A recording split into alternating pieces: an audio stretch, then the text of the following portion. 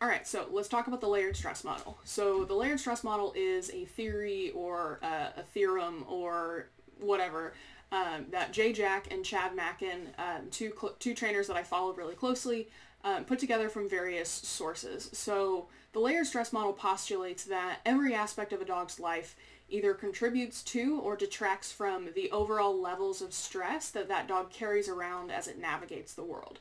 So there's a lot of different things that can um, contribute to or detract from um, layers of stress in the dog's life that seemingly are completely unrelated um, that build up to a big picture. So just for an example, um, say that you dropped mustard on your favorite shirt.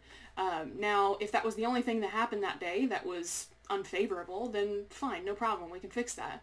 Um, but if that day you were late to work that day because you had a flat tire, and then at lunch the um, cafeteria or wherever you get your lunch was out of your favorite um, sandwich or whatever, and then you settled on you know this other type of food that you weren't really stoked about, but fine, whatever. Um, and you had crappy meetings all morning, and then you dropped mustard on your favorite shirt. Um, that's going to feel very different than the dropping your dropping mustard on your favorite shirt um, on a perfectly normal day. So there's a lot of things that can um, add to a dog's level of stress that it that it carries around every day that make very little sense to us as humans when we look at it, unless we're looking at it through the lens of um, what can we do to decrease the overall levels of stress in this dog's life. So um, this is kind of a, a big a big focus that I have in my training. So everything that I do is kind of dictated by the layered stress model. Um, there's a lot of things that we can do to um, make our dogs healthier, um, to make our dogs less stressed, that really doesn't seem like it should make a difference. Um, so um, one example that Jay Jack uses all the time is undercooked meatloaf. So if I were to come home from work um, and my husband had just made dinner and it was meatloaf and it was just a little undercooked, it wasn't quite right, um, and I freak out, freak out, start throwing stuff, um, just start yelling. The first thing that he's going to do is not going to be um, we need to hire a therapist to counter condition and desensitize you to undercooked meatloaf. Uh, that just wouldn't happen. Um, it just, that's absurd. Um, the first thing that he's going to do is be like, what happened? Like, something happened. What happened? This is not normal. Uh, but when we look at it like that with our dogs, um, say that your dog has um, problems with a very specific um, Jay uses the example of a clown on a unicycle. Whatever. You can that can be whatever you want. Um, guys in hats or men in beards or, whatever. Kids on bicycles. Um, say that they have that one problem with that one thing. Um, our first instinct as dog people um, is to hire a trainer to counter condition and desensitize, get that dog used to um, clowns on unicycles or kids on bicycles or men in hats or men with beards. Um, so our first instinct is to address the trigger directly when really there's a lot of stuff that we can address before we even get to that point to make a big trigger, a very small trigger, or go away entirely. So I'm going to bring up here, bear with me, um, it's going to be a little trippy. Um, okay, so this is a layered stress model. Um, so this is a, a, a cartoon. I, I, don't know exactly who developed this. Um, I would give credit if I if I knew. Um, but the bottom layer is, is health. So it's really important for us to look at our dog's health um, as, as really just the foundation of our work with our dog. So just like with us, we could um, eat Taco Bell for every meal and technically be fine, but we sure wouldn't be feeling our best. Um, so one thing that, that Jay talks about is um, who has considered that their dog might get headaches? A lot of people wouldn't even think about it. Um, but headaches are caused by constriction of um, blood vessels in, in the brain. Um, dogs have brains, dogs have blood vessels, so dogs get headaches. So I'm not excusing, you know, any crappy behavior that you're seeing from your dog, but there's a lot of stuff that can go into it that you might not even think about. Um, so it's really important for us to look at um, physiological health of our dogs. So um, appropriate food selection. I'm not going to get into that a lot, Um, but there's a lot of different sources that you can go to for um, food selection or, or appropriate food. So if you can feed raw, I generally recommend raw. Um, if you can feed a balanced pre-made raw or do it balanced yourself, um, and there's a lot of different sources that you can go to for balance, but it's really important that it is balanced. Um, but if you can do that, I always recommend raw uh, because raw is the most biologically available source of nutrients to a dog. Um, the more that we process um, those nutrients, that we process those ingredients, the less biologically available um, those nutrients become. So there's nothing wrong with kibble by any means. Um, I feed kibble to my foster dogs and to my dogs when life gets, gets crazy, but raw is the ideal. Um, so if you can do raw, um, do raw. If you can do it balanced and do it properly. So a lot of vets are going to be against raw um, because a lot of people don't know how to do it properly. So if you don't know how to do it properly, don't do raw, stick to kibble. Um, but select a high value kibble. Um, so high value is a very um, subjective thing marketing, Blue Buffalo's marketing would tell you that they are the best kibble when really they're not.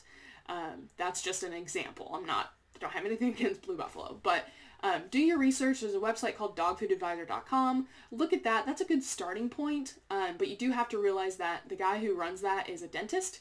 He's not a canine nutritionist. Uh, so the, there's a lot of different avenues that you can go down to look at your um, your the best selection for your dog personally um, for for raw or or kibble. So me personally, when my dogs are not on raw, they eat Purina Pro Plan. Um, that is my decision, my personal decision with my dogs. The reason that I feed that is because um, Purina is one of the few brands that actually employ veterinary nutritionists. Um, they've done feeding trials. They've done all, they've done all that, and it's a high quality food. It's not like the top of the line food, but it's good. It's decent. It's it's a good one. Um, so that's just what I what I feed. But regardless, um, talk to your vet, talk to um, qualified human beings to give you advice on diet. Um, there's a lot of really good Facebook groups. Raw Fed and Nerdy is my favorite one. Um, check that out. They're all about raw. They're all about good good quality kibble, things like that. But okay, so that's that's the food. So um, body condition is really important. So your dog needs to have good body condition. Um, so let me go to this other one here. All right, so this is a um, this is a body condition score. Um, it is branded Purina, but it doesn't matter. Um, it's very universal, so it goes from 1 to 9. So 4 to 5 here is ideal. So you should be able to feel your dog's ribs, um, but you shouldn't have to push hard to feel your dog's ribs, but you shouldn't be able to very, very easily feel them or put your fingers in between them. So a good um, and, and ribs isn't the only like qualifier, uh, but it's a good, easy way to check. Uh, but the a good test. Let me bring this back here. I am so sorry. This is really trippy. so a good test is your hand. So, and I have a blister from pounding fence posts. That's great. Um, so if you are, I'm going to have to try not to touch that, but if you um, feel the inside of your knuckles here, and your dog's ribs feel like this, they are too fat. So like I can feel my knuckles, but I have to push pretty hard. Um, and that's not healthy. Um, on the other hand, if you do a fist like this and you can feel your dog's ribs and they feel like this, they are too thin. A good uh, middle of the road is if you have your hand flat like this and you feel your knuckles on the back with a relaxed hand. That is what your dog's ribs should feel like. Um, now, let me go back here. I am so sorry. I gotta figure out how to do that better. Um, so I, you should be able to easily feel the ribs without pushing too hard, but you shouldn't be able to see all of them just as a, as a standard practice. So a lot of vets are the a lot of vets have a, a wider range of what they would consider to be a healthy weight. Um, a lot of dogs are on the overweight side, but a lot of vets will tell you that that's fine. Um, and that is technically fine, but it's not ideal. Um, so I prefer to keep my dogs on the four side of the spectrum. Um, so ribs easily palpable with minimal fat covering, waist easily noted viewed from above, abdominal tuck is evident. So I want my dogs to be on the leaner side Um, so there's a lot of downfalls of having a fat dog. Um, their lifespan is actually shorter. Um, it's more wear and tear on their joints. It's more wear and tear on their organs. Um, it's just a lot of extra weight to be carrying around. It's harder on their heart and on their lungs. It's just not a good thing. Um, so your dog should be as lean as it can be while still being healthy. Um, so if you see like military working dogs or sport dogs, they're sometimes even in the three range. Um, they're pretty thin, but they're lean. They have a lot of muscle mass. Um, they're they're useful. They're not carrying around a lot of extra weight, and that's fine. That's perfectly healthy for that kind of dog. Um, for your dog, four or five is going to be where you need to be, and that's really really important. So a lot of dogs that come in for board and train with me are fat, um, and that's a problem. um, that's just adding to the overall stress of that dog's life being in not optimal physical health. Um, another, let me go back here. I gotta figure out how to do that better. Maybe I need another monitor. Um, another thing is nails. So I am obsessed with nail care. Um, I think it's because I come from horses and um, good hoof is a good horse. If you have a crap hoof, you're not gonna have a good horse. Um, so that's kind of transitioned into dogs. So nail care, nail care is really important. So um, your nails, your dog's nails should not touch the floor. Say this is the floor. Um, they should not touch the floor when standing on a hard surface. Um, that is absolute minimum. There's no excuse why your dog's nails should touch the floor when they're standing on a hard surface. Um, and the reason for that is when you're standing on a hard surface and the nails are touching, that's putting a lot of pressure back up into the toe pads, into the into the foot pads. And it can cause a lot of discomfort. It can cause the toes to turn. Um, it can really cause a lot of pain. Um, and there's no use for it. Um, even if your dogs do sports, even if your dogs do like weight pull, for example, a lot of people have really long nails on weight pull dogs. Um, the problem is they can extend their nails, not as much as cats do, but they can flex their paw to get those nails to dig in. So you should not have your dog's nails touching the floor um, on a hard surface just standing flat. That is absolute minimum. Um, and like I said, the reason for that is because it's very uncomfortable if they are touching the floor. It's like wearing high heels backwards, or if you can imagine having your toenails long enough um, where you can put like corks or something underneath it that touch the ground as you walk, that would hurt because they're pushing your toenails up. Um, ideally, for most dogs, the goal is to not be able to hear them when they are walking slowly across a flat surface, a hard floor, like tile or laminate or hardwood or whatever. Um, that's ideal for a lot of dogs. That's the ideal for most dogs. If you can't get there, that's okay. Um, that is the goal that I stick to for my dogs. Uh, that is the ideal. Uh, because again, they can flex their paws to get their nails to dig in as they run or jump or do agility or something like that. But as they're walking on a flat surface, just easy walk, if they can hear, if you can hear their nails click, um, they're generally too long. So that's just kind of a, a, a general rule. So I have a lot of resources for nail trimming. Most dogs don't like it. You have to actively teach them to like it. Um, I have this whole series on my Facebook page um, and on my, YouTube, on my YouTube channel exactly showing you exactly how to condition them, what tools to use, how to know when you're too short, how to know when you're too long, that kind of thing. So look those up, please. Um, so let's get back to the let's get back to the layered stress model here. So the next level up is lifestyle. So every dog, um, whether it is a mixed breed or a purebred, um, has the ideal life for that dog. And that ideal life for that dog, depending on its genetics, is going to look very different for every dog. So uh, a border collie mix, like the dog that's on the bed behind me, um, he wants to live his life chasing sheep and catching rats and doing all sorts of stuff like that. Um, he's a border collie, terrier, something. Um, his ideal biologically appropriate lifestyle would be hurting things, chasing things, killing rats, um, just on the move all the time. That's not really an appropriate lifestyle for him to have. Uh, but if I want to give him an outlet for that frustration of not being able to do those things, I need to find him surrogate activities to express that drive to do those things or he's going to show up with behavior problems. Um, so a, uh, a border collie wants to herd things, wants to chase things. A terrier wants to catch things and thrash them around. Um, some dogs are into conflict.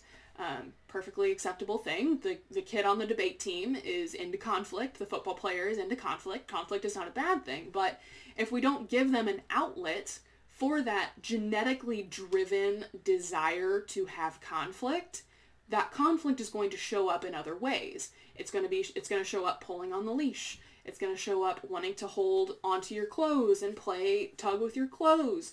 It's going to show up in some in some ways that we don't like. And that's not fair to our dog to be upset with them for expressing their genetic need to do those things in a, in a way that is fine for them but not fine for us because they have dog brains. We can't expect them to know what is an appropriate outlet and what is not. That's up to us as our human, big human brains. Um, we need to figure out surrogate activities to spin the same dials in their brain that their genetically driven desire to do things would spin. So, like for Malinois, Malinois are uh, like essentially German Shepherds on crack. Um, they are super driven to do stuff. They like to bite stuff. They like to chase stuff. They were bred to um, as like protection dogs, um, like military dogs. They're working dogs. They're just crazy, crazy high drive dogs. Um, if we don't give them an outlet for stuff, they're going to rip apart your couch. They're going to chase your cats. They're going to do all of these things. Um, if we can't give them the um, ideal, like if you have a border collie and you can send them to live on a farm, cool, do that, awesome. If you have a, a coonhound and you can hunt with them, do it. But most of the time we can't do that. So we have to find surrogate activities to spin the same dials in that dog's brain that the genetically driven desire um, to do those things would spin. Um, so there's a lot of stuff that we can do um, to build those into games, to build the things that the dog wants to do into games, to teach them what we want them to know. Um, so that's a huge part of my training. So think about that. Like if you have a dog that likes to chase cats or likes to chase cars, you need to kind of shift your mindset of um, from, you know, how do I get him to stop chasing cars to how do I redirect that genetically driven drive to chase cars into something that I don't mind him chasing um, and that I can use to teach him stuff. So we'll talk about that as we go. But that's the that's the lifestyle layer of stress. Um, a, a less ideal lifestyle, a biologically inappropriate lifestyle, will cause a lot of stress for a dog. Um, just like the cattle dogs that live in apartments and people call me to fix them chewing up the couch. That's a problem and it's not the dog's fault. they are looking for a job, and if we don't give them a job, they're going to find one, and we're not going to like the job that they find. But anyway, so there's that. The next layer up is clarity. So clarity is an understanding of the rules. Um, what's allowed, what's not, what do we do every day, what's the routine, you know, how do I fit into, um, how does the dog fit into your life as a human being? Um, so dogs don't speak English, so we have to figure out a way to communicate with them in a way that they understand and communicate to them what is your role in my life? Um, how do you fit into this human experience? Um, so clarity, a lot of people will do structure to provide clarity to the dog. So structure is um, a really strict management. So management looks like, you know, they're crated, they're on place all the time, um, they are never really allowed to be free and make their own decisions. Um, and we kind of have to be careful falling into that trap because dogs don't need structure, dogs need clarity. And clarity is understanding that comes from structure, but it's not structure itself. So my dogs are at liberty all the time, basically. I hope you can see that, otherwise this is not going to be effective. He's laying on the bed just chilling. He's not in command right now. He's not expected to do anything in particular. I didn't tell him to go lay down he's fine. He's made his own decisions because he has the clarity of understanding of what is allowed and what is not. So he has a framework to make good decisions within. But you can't start there. When I got him, he's a foster. He's been with me for a year and a half. He was very, very, very managed in the beginning. He was very structured in the beginning. Um, and so he learned how to make good decisions. He learned what the good decisions are, what the bad decisions are. So now he can make his own decisions, and I don't need to babysit him. But we don't start there. We have to start with structure and management and things like that to give the dog clarity. But we can wean off of that. We have to be careful because if we think that dogs need structure, we're never going to wean off of structure. If we think that dogs need clarity and structure is a way to give them clarity, we can give them clarity and wean off the structure. Um, so clarity is when a lot of trainers get involved. So everything that I just talked about in the beginning of this video up until this point, most trainers will not address because it's not entirely evident that it's relevant. Uh, but it is really relevant and it's really important. Um, so if you have a dog that is in physical pain with allergies or um, you know chronic conditions or anything like that and is on a crap diet and just doesn't feel good. And it's a cattle dog and it lives in an apartment. You can come in and you can try to train them all you want but unless you fix those things you're not going to get anywhere. You're not going to get the results that you want. You're not going to get the results that i can get. So and that i do get on a very regular basis. Um, so clarity is important but it's not the first step. Uh, but as such with clarity this is when a lot of trainers get involved. So this is where a lot of the um, training advice that you see on online or given by trainers or whatever, this is where it starts to apply. Um, so there's a lot of stuff that we can do with clarity. Um, there's a lot of stuff that we can do to communicate to the dog what are the rules, um, what are the boundaries, what are the limitations of your life, and how do you fit into this human experience. Uh, but we can do that um, without relying on structure long term. So that's the, the, the clarity level of, of stress. Next up is the leash. So I'm not going to talk about this a lot right now. I will talk a lot about this when we get to the point where we teach your dog to walk nicely on loose leash, but the two minute version is 99.9% um, of dogs see a leash as a restraint device because we don't give them any other reason to think otherwise. Um, so leashes suck to the dog. So what when we look at a leash, we see it as a ticket to outside adventures. We see it as a way to get out into the world and explore. Dogs don't see it that way.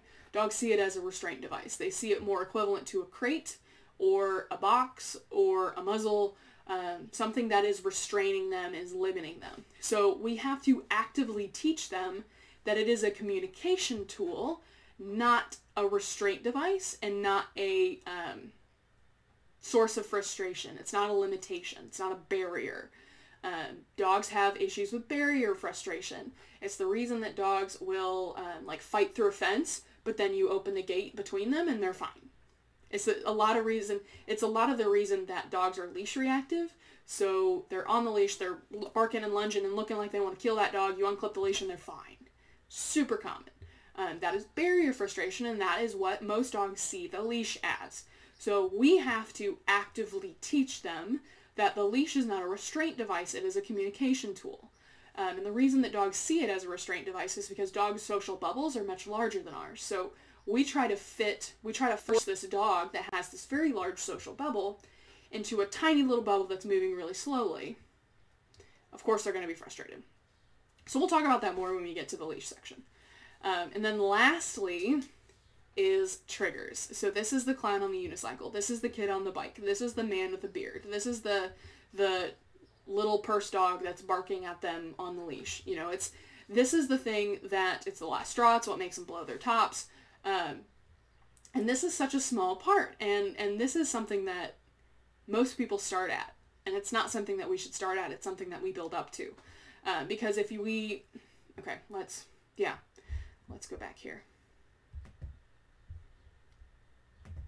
Okay, so uh, the reason that we look at it this way, and the reason that we look at this stack up, this this build up of layers of stress, is that if we come in and we look at the trigger um, alone, that's only a tiny little part of it, and we're never going to be able to get that um, down below that dog's threshold. So every dog, when they're born, um, their genetics kind of determine what their level of what's their threshold for nonsense that they can experience before they start doing whatever it is that their thing is, whether that's excited peeing or submissive peeing or um, barking at the at the at the person, you know, that's the trigger, biting or growling or showing whatever bad behavior or unwanted behavior that you, you're seeing.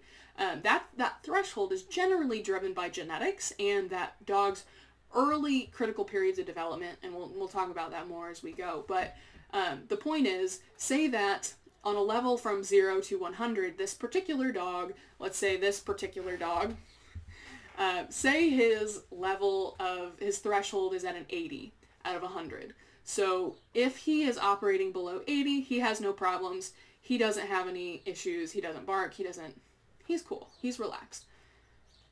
Say that's 80. Say that he's walking around every day, navigating the world at a level 70. We have 10 points, 10 stress points. Um, that's not a thing, I'm making that up. Uh, 10 stress points to play with before we start seeing that bad behavior. So if we can go through and we can minimize the health layer of stress, maybe that was a 10, now we can make it a 5. I'm going to be horrible at math, but you're going to you're going to get my point. Say that the biologically appropriate lifestyle layer was at a 20. Now we make it a 5 because we give him a job to do. Um, the next layer up is clarity. Um, maybe we take that from a 30 to a 4 because he had no idea what was going on. So now we give him some guidance and he's totally fine. And so we just build these things up and say that his, his threshold is, is, is an 80 and he's walking around navigating the world every day at a 70. Um, say that we can lower that to a 40. Say we even lower it to a 60. Now we have 10 more stress points to be able to work with before we see bad behavior.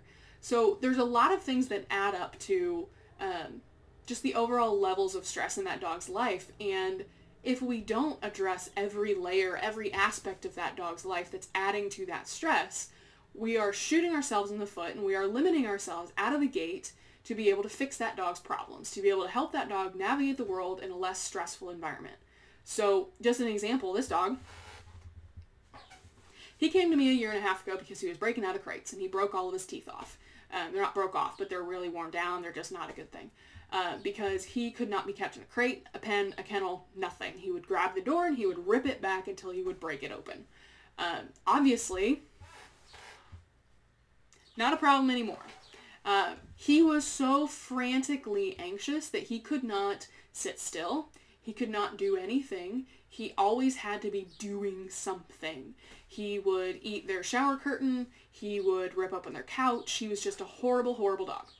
Because he had no clarity. He had no biologically appropriate lifestyle. This, they did nothing with this dog. And he's a border collie. He's a border collie terrier mix. So he has these very genetic, very strong genetic drives to do stuff. And so they weren't giving him any outlet for that. Um, he was on crap food. He had no idea what the rules were for the house. Um, so he was a mess. He was an anxious, frantic mess. He's not a mess anymore. He's still got quirks, don't get me wrong. He's not a perfect dog, but he's a different dog now than he was because we went through and we addressed all these layers of stress. And the kennel, the crate, um, is the trigger. So if I were to have focused on just that, there's no way that I could have gotten him to where he is now, able to just chill, doing nothing because the trigger is just a tiny little part of it. If I would wouldn't have changed anything, um, we can counter condition and desensitize to the crate all day long, but he's still going to be a frantic, anxious mess because all of those other things are not being taken care of. So that's kind of a, a recap of the layered stress model, um, a 30 minute recap, sorry. Uh, but it's really, really, really important to understand this. So what I would recommend you do is you print out this graphic, uh, the layered stress model, and stick it on your fridge so you look at it every day. Um, and the rest of the training is going to be kind of formatted in the um, to fit within the, the framework of the layered stress model. So we're always going to be referring back to this. We're always going to be going back and saying, okay, well, what layer does this fit into? So there's that. Moving on to the next section.